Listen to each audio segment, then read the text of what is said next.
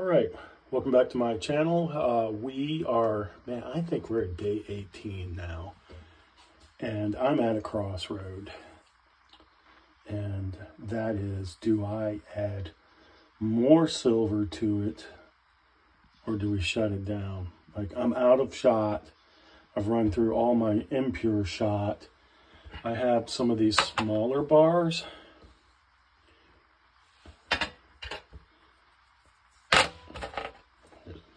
Another smaller bar.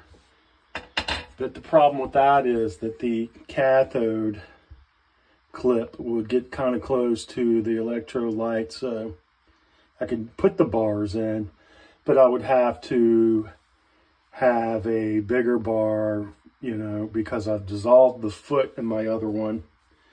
And I don't want the solution to contact the alligator clips and pull any of that metal off or have any oxidation on those clips. So what I think we're going to do is go with a bigger bar. And man, we're going to keep this going. Uh, the cell's looking pretty good. The crystals are good. I had um, dropped the voltage down to 1.01 volts and I'm running about 3.95 to 3.94 amps which loosely translate to about 0.3 watts, sometimes 0.4 watts. We've slowed down the wattage to increase the crystal growth and to keep it from being so uh, lacy in the lattice structure, you know. So I like the stout broccoli look and some of the longer crystals. And I feel that it grows too fast uh, at 3 volts and higher amperage, so I like to keep it under. And, uh, you know, we still got a little bit of life in this cell. On some of this, you can see like an ion current. It's hard to describe, um, but there's a small current that you can see on some of it going from the anode to the crystals. Uh, it's not as pronounced as I've seen in some of the other cells, but it was there when I was staring at it after I got off work today. Anyway, when we're going to come back, we're going to put a bigger bar in. I've made my mind up, so that's it. So we're going to see the bar I chose. And it's a 234 gram. It's one of the thinner ones I had. It's got great pour lines, but I had you know, little tab there. And I feel like I could pour some that are better than this.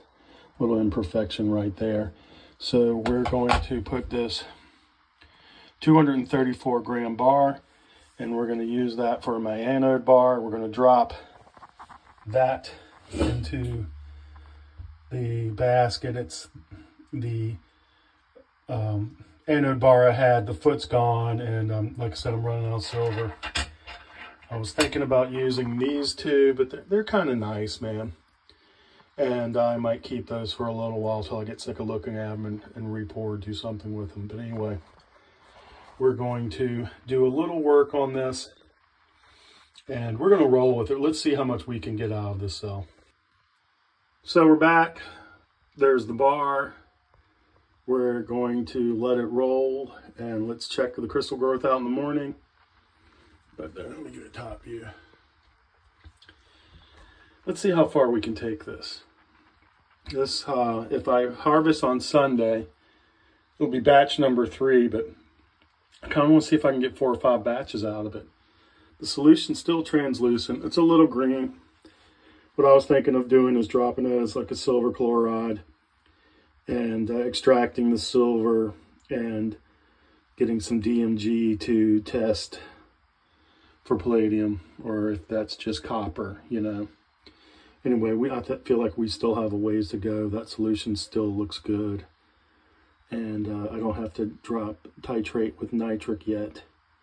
And I feel like we could probably go a couple more days before I top that solution off. But let me give you a side view there. The crystals.